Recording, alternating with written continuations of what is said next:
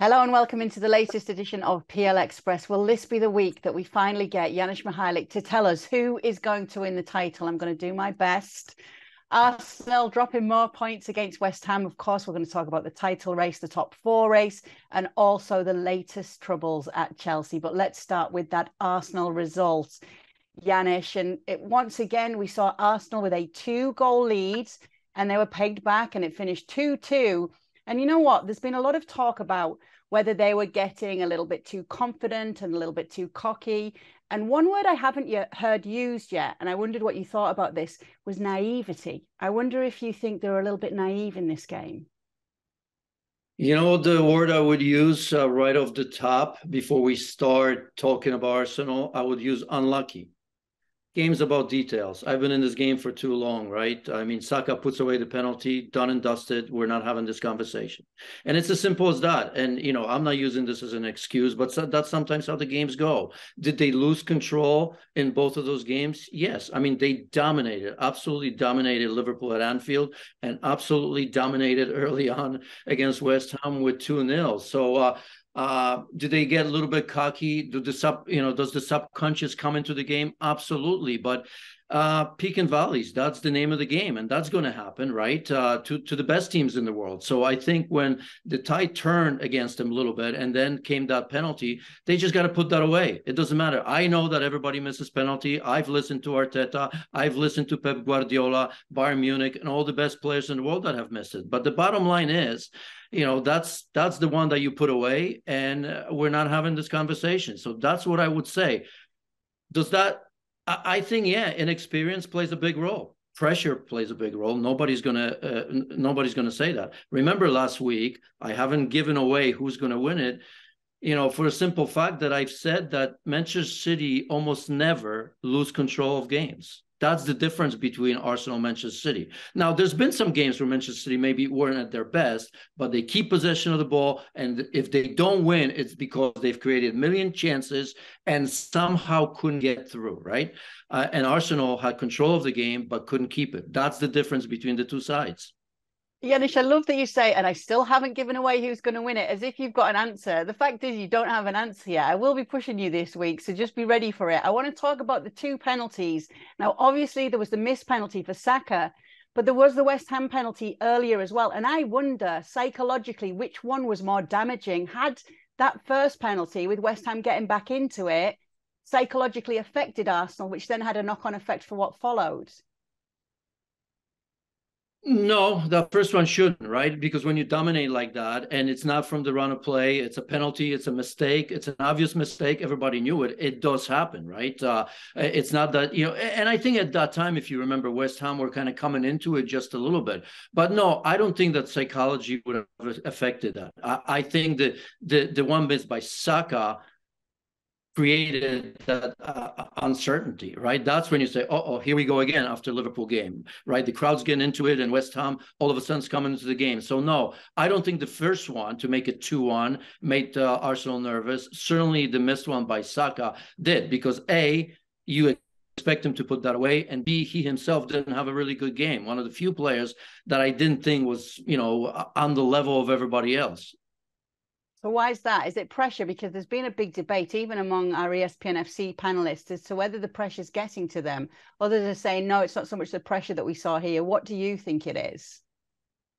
I think it is the pressure. I think it's the realization of of you know we're getting close, and and and the game of truth is coming, and and let's not forget about that. The players will think about that, right? They want to get into that game in best position possible, and when when everything works your way, when you think, my goodness, this is easy, that's where silly mistakes uh, happen, and then you know I don't necessarily think that I don't necessarily think that it's it's it's that they're young, but I still think, and I've said it before, that I don't think that they have that true leader. You know, that Casemiro in the center of the pitch, that that Rodri of the, in the center pitch, Thomas Partey can possibly be the one, but I don't think he will be. He's going to be a great player. There's some very good games that he's played, but he doesn't come across to me like a leader. Xhaka, I think it's been better since they've taken away that leadership ability or quality from him, right? Because uh, remember how he played when he was the captain and everything was on his shoulders. So, uh, you know, Odegaard as a captain, I don't look at him in the same way as I look at Casemiro and Rodri. That part, maybe that one player or two players, maybe somebody, you know, at the back, that's that's still up there. They still haven't developed that one massive personality that when the times are tough takes over and settles the team. They don't have that. So it's obviously the, not the most ideal situation, but it's probably fair to say the leader is Mikel Arteta right now. And unfortunately, he's not on the pitch. With what we saw in this game, you've just mentioned Bukayo Saka as well, not looking himself. Which player needs an arm around him the most going forward to ensure that Arsenal get back to winning ways? Oh, uh, I still think, yeah, but I don't. I don't think if he needs one, but I, I do think that Odegaard plays an unbelievable role on that team. I still think uh, he makes the team tick. He's just going to be more consistent throughout the game. I mean, he's the sort of player that even if it if it doesn't seem like he's playing great, he still contributes. I mean, his vision, his passing, defensive ability, pretty good. But I think he's going to decide that. We've seen Gabriel Jesus, uh, uh, you know, coming in, scoring again. I mean, he's looking uh, just as good as he did before uh, his injury as well. So look, this is this sort of Leicester, you know, Leicester City moment. Although I mean, I'm not putting them in the same situation because Arsenal are three or four or five times better than that Leicester City uh, team was. But again, you know they're you know uh, you know they have to deal with Manchester City, something that Leicester City at that at that time didn't have to deal with. So we talked about you said at the top they were unlucky. Last week I asked you if they missed Saliba. Would you say that they missed him this week, or do you still stay firm on what you said last week? I think they have. Look, I mean that that combination be, uh, between Gabriel and and Saliba was good. He gives you that extra pace, as I've said. Uh, uh, um, Holding was good against uh, against Liverpool. I thought he had a pretty good game.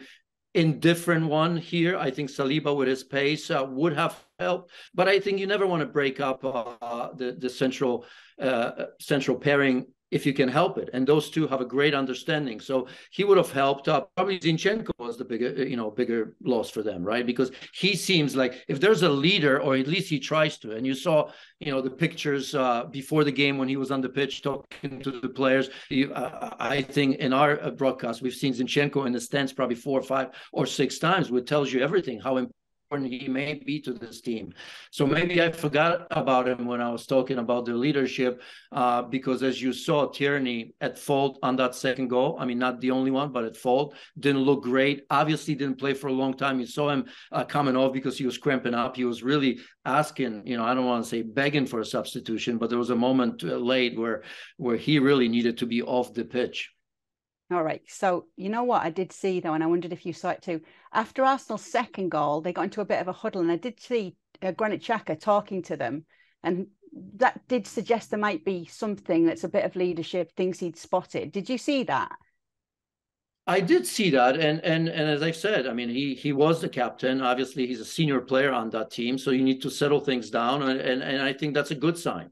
That's something that. Uh, you know wasn't forced i think was a real, real realization from from not just Xhaka, but probably from everybody that you know things aren't working. And and look i mean look how far this team has gotten right? I mean it's almost uh, you know I, I, hear things and i listen to to some other people saying well even if they finish second uh, you know it'll be a great season. Of course it will be, but you don't know when this is going to come around and if this is going to this chance is going to come around again. So I think they see what's happening here. And oh, by the way, I'm not ruling them out. I, I really am not. I was really when it was two 0 K, I was ready to say, believe it or not, that I think Arsenal is going to see this through.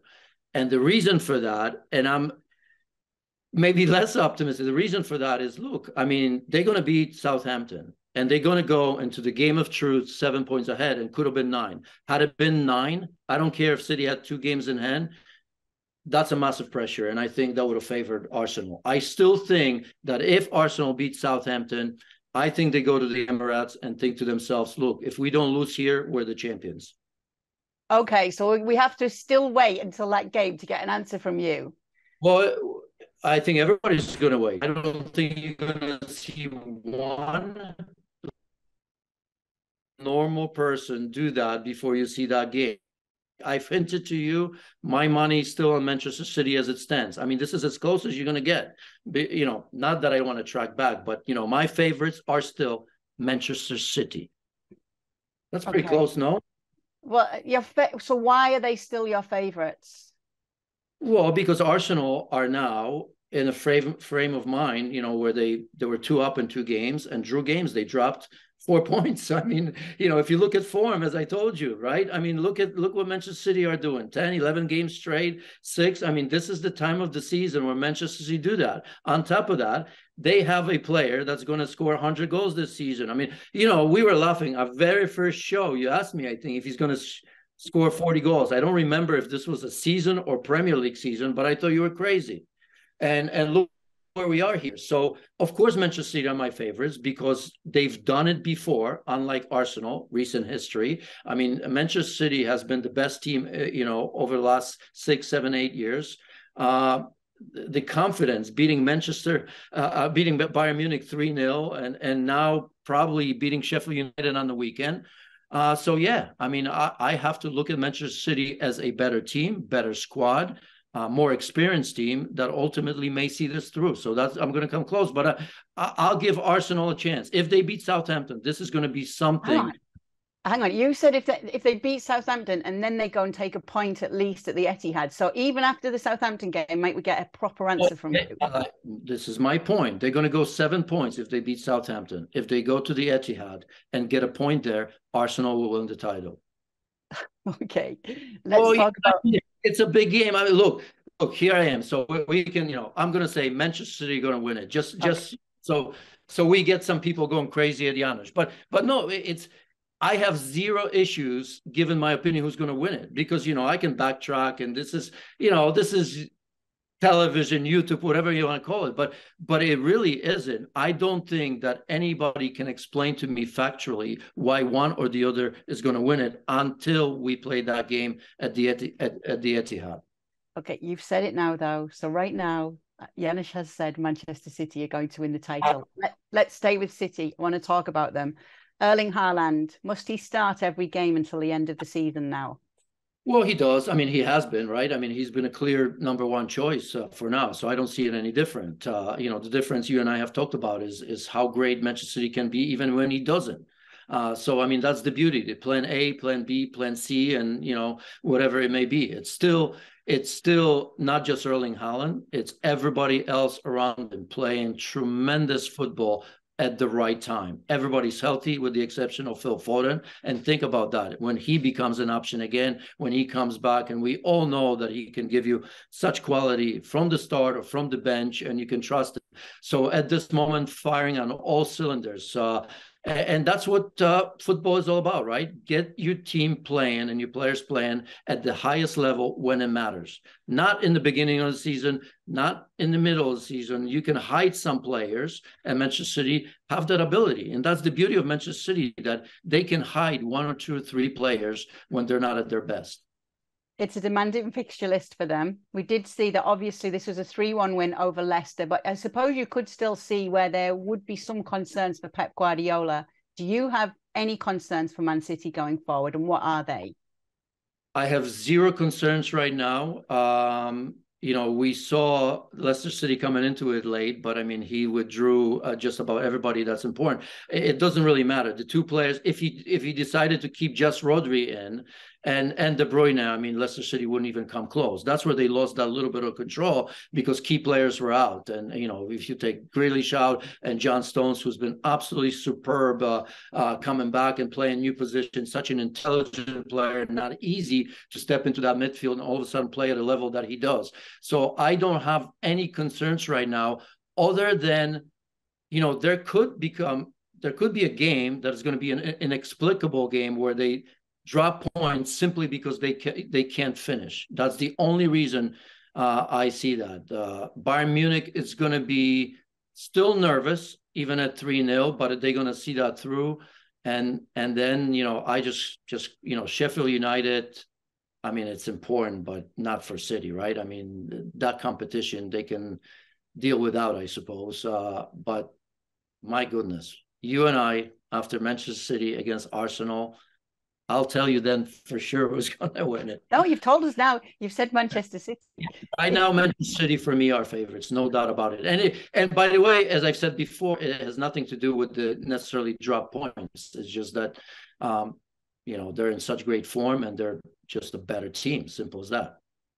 Okay, let's talk about Manchester United then. And I want to talk about Antony here because it was his first goal in 15. Obviously, we saw him get off to a scoring start at the club. 86 million he cost, but he is still only 23. My question to you is can he fulfill his potential? That's one side of it. And is he going to be able to step up in the absence of Rashford in terms of goal scoring right now?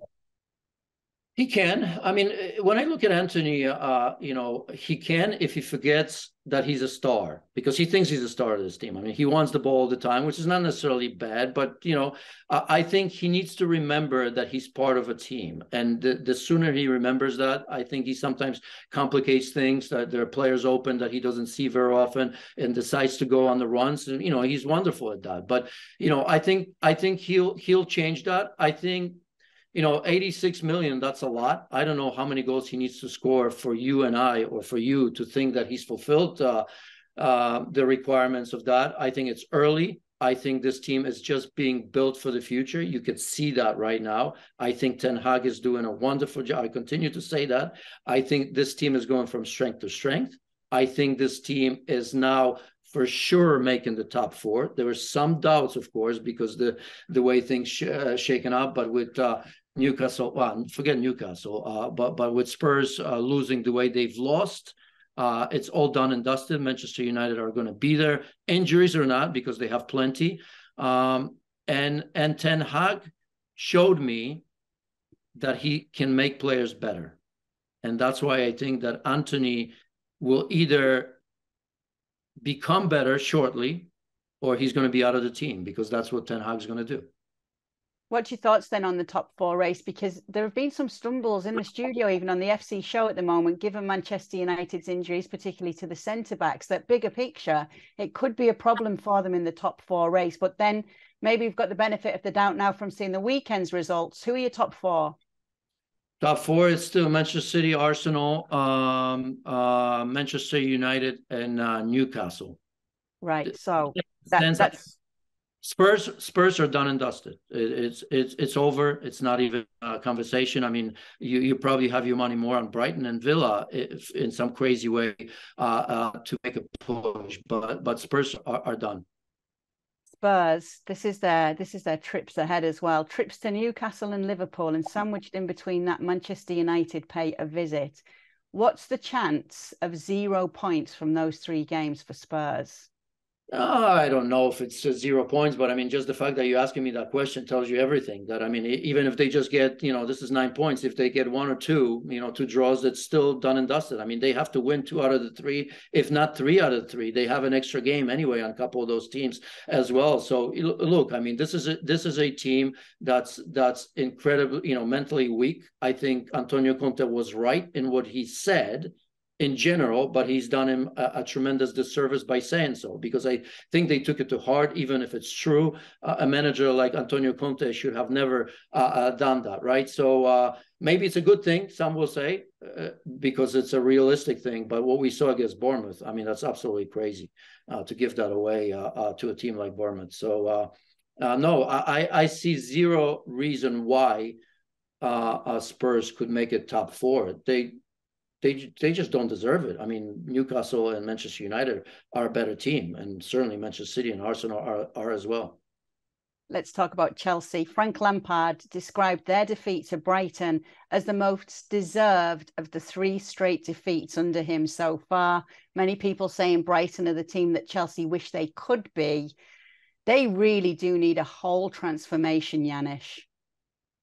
Uh, they do, and it's much bigger than we thought initially. I was I was embarrassed for the club, for the players, for everybody else. Uh, I mean, this was uh, you know, here's a Brighton that's beaten them twice, right? I mean, they've taken a manager away from them, they've taken a player away from them, uh, uh, and and and look at the way. I mean, Chelsea would love to look. I looked at that game and said to myself, just watching Chelsea play it as of late, if Chelsea were closer to relegation they would have been relegated. I mean, the way they're playing right now, they, if they were closer to relegation, I don't know if they were able to save themselves. I mean, it's that bad. I mean, there's absolutely nothing.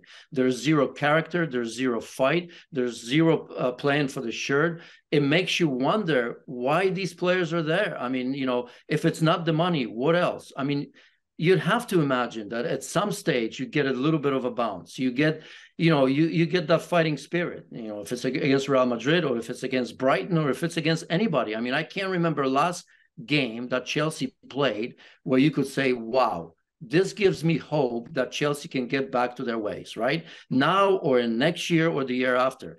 I mean, I thought that maybe this this project is going to start paying some dividends in terms of seeing uh, some identity and where you can say, okay, next season if they add here or there, I can see Chelsea being a little bit of a contender, at least for top 4 nowhere near that. I mean, I think this is going to take three, four, five years. I mean, this is the biggest decision in terms of a manager and direction that they take this summer. It's one of the biggest decisions in Chelsea's history, or at, at the very least in the recent history in the last 10, 15 years.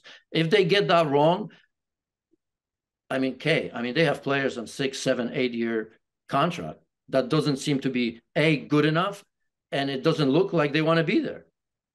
Should we get? Let's. I've got so many questions with Chelsea, so we'll we'll get through them as fast as we can. When you say that, is there any player that stands out that you think I don't know if they should be there, if they want to be there, that's actually playing right now for Chelsea? And you know, I've changed my mind in that because I remember a month ago, you know, you and I were talking about that, and we are looking at the spine, and we were talking about maybe the Thiago Silvas or Enzo for, you know, uh, you know, Enzo's and all that. And I'm thinking now, okay, Thiago, I mentioned because he's the best of the rest, but I mean, it's not like he's been great. Certainly, he's not the future. So, I mean, you can't look at him and say, well, we're going to build a team around him, right? He's going to get another year. Who knows? Maybe we see more injuries than that. And anyway, against the best of the best, you're going to see Thiago Silva struggling as well. So, he's not there. Enzo, he's one of those that I love and everybody else loves because of what he did for Argentina. But now we have to look at Enzo. What is he going to do for Chelsea? And I still love him but I mean, he's not a holding player. He's never been at Benfica. He really sort of became that with Argentina, but look at the players around him and the strength, uh, you know, uh, uh, with Mac Allister and everybody else that's that's played around him. Uh, so I don't know if ultimately, I mean, Enzo can hold that midfield on his own. If we think an N'Golo Kante can come back to his normal level, maybe, but that's even a doubt. And then when we go elsewhere, Tell me a name. Who? Havertz not good enough for this league. He's the, you know, he's the Timo Werner. And you know, you see Timo Werner back in Bundesliga banging in great goals. Maybe that's the level. Not a knock in the Bundesliga, but it's certainly a different, uh, a di- different way. Not to mention that he's playing out of position. So what are we going to get out of Kai Havertz? Probably not much more. Sterling, his best is past him, right? And he's not going to be the player that's going to be deciding games for you consistently. Who else? I mean, Pulisic, obviously, you know, he's going to be gone. Who are the key players that we're going to mention? Reece James. Okay, I'm not going to say Reece James is not good enough, but he came in and Mitoma did every whatever he wanted to do with, with Reece James. Where when when Frank Lampard had to make four substitutions at the same time, right, and still made zero difference. Four players that he was probably key players that he was saving for for uh, Real Madrid came in and made absolutely zero difference. So this is your Chelsea team where you think there's going to be some pride, some quality to play a level game against Brighton. You know, all we want to say Brighton is a good team, but where where's Brighton ever going to go? Even if they somehow, you know, they're going to have a great season, they're going to sell one or two, three players, they're going to find great players again, but they're going to be Brighton, no more than that. Okay, Mason Mount, what would you do about his future? I like Mason Mount, but I don't think Mason uh, Mount likes Chelsea. So he's gonna he's gonna jump ship. That's that's my prediction. And you know, I, I can't blame him. Marc Cucurella. Well, he was Potter's team. I, I mean, you know, not Chilwell is a better player, right? But you know, we all love Cucurella you know, at Brighton, but just goes to show to what I was saying, different pressures, right? That's why I, you know, I respect, I love what De Zerbi has done. I love watching Brighton, but there are different pressures playing for Brighton and playing for Chelsea Football Club. Uh, and uh, Cucurella is a great example of that. Not good enough. Aubameyang. Aubameyang. Yeah, I mean that I I never understood that, right? I mean, there's a flaw in his character that prevents him to use the unbelievable talent that we saw when he was at his best at Arsenal. And I don't know if that's going to change. So, what happens with Romelu Lukaku? Should they should they take a chance on him back at Chelsea? No, no, not anymore. Uh, you know, we've seen him. You and I watch him closely, right? We we both watch Serie A. I mean, hasn't had a great season. I mean, yeah, he can deliver from time to time, uh, but at, at Chelsea, at any Chelsea, even at their best, but especially this one, you can't have a player that may or may not deliver from time to time. You need somebody that's that's consistently healthy and consistently contributing to the game. I think Romelu Lukaku is past that. As we're going to air this morning, Chelsea have actually met Julian Nagelsmann for talks. I suppose what we have to talk about who is going to come in and be the manager to actually try and work on this transformation and get Chelsea fighting on all fronts once again. First of all, what do you think of Nagelsmann as this fit? Look, I think he can. Uh, uh, he's got a clear identity. He's had success at a smaller club at Hoffenheim. Uh, he's had success at what was he Leipzig, but I don't consider it a massive club and he didn't succeed to some degree, I suppose, at Bayern Munich. Although, as we see right now, I mean, he was tremendous in the Champions League, won every game up until the moment he got fired. Thomas Tuchel came in. Thomas Tuchel, who's been at Chelsea, and obviously, if you look at his record uh, since he came in, not very good at all, right? I mean, lost to Freiburg in the cup, barely beat Freiburg. Um, uh lost to Manchester City and over the weekend they drew again right i'm trying to remember yeah, i think right so Thomas Tuchel, previous Chelsea player, has been absolutely awful at Bayern Munich since he came in. An experienced manager, knows the league. Yeah, but we're not going to talk about Tuchel. We, we're going to talk about Nagelsmann. So, so one worry is is a little bit, you know, I mean, he's much better than Graham Potter, but I mean, this is a massive club, massive jump. Uh, he's had that experience at Bayern Munich, but I liked his identity, I, a, a clarity. He's tough. He's been managing for a long time, even though he's he's a young coach. So I think from all the names that I've seen so far, he gives you a best chance. And maybe the fact that he's been in this game as a manager since he was young, maybe somehow he can identify with some of these young players. And that's important because it's tough coming to Bayern Munich, right? Uh, uh, uh, dealing with all these egos. There are some egos but Chelsea egos are easy to get rid of because nobody on this Chelsea team, with the exception of maybe one or two that we've mentioned, should have an ego because they're not good enough. They're not old enough. They haven't won enough, in my opinion. And you know, don't get at me. You know, I don't want to mention the Azpilicueta. There are players that won trophies, but I'm talking about you know the new players that are coming in. Uh, I think that you know they have still a lot to prove right now. And I just wonder if Nagelsmann may be just the sort of a, a, manager that can identify with the younger generation and push some of the older players because he's dealt with big names already.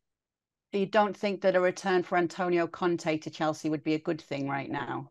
Yeah, I mean, he, he needs to go back. Look, I, I you know how much I respect him. I've liked him. I thought that his uh, appointment was was very good. At least I, I thought, but no, I, I just I just don't like you know the negativity, the the style of play. It I, mean, I don't mind in Serie A, but we all know the Premier League is something totally different, right? And when you go to a big club, you have to entertain, you have to play from the front, you have to make players better. You can't just ask for more and more and more and more. And and in fact, I don't know if Chelsea can give Antonio Conte more and more. They've spent enough, and they have to sell a lot of the players in order to get uh, new players in. So Antonio Conte, not a good fit.